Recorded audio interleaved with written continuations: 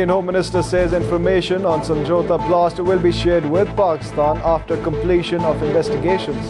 Authorities rebuff American demand to hand Raymond Davis send questionnaire on case to U.S. Embassy. At least seven terrorists killed during security forces operation in Upper Orakzai. Joint investigation team recovers mobile phone sets of two leading suspects in Benazir murder case. Thousands of demonstrators defy curfew in Egypt as protest enter six day, deaths in mass revolt top 100. And Australia set target of 250 for England in the fifth one-day international at Gabba in Brisbane.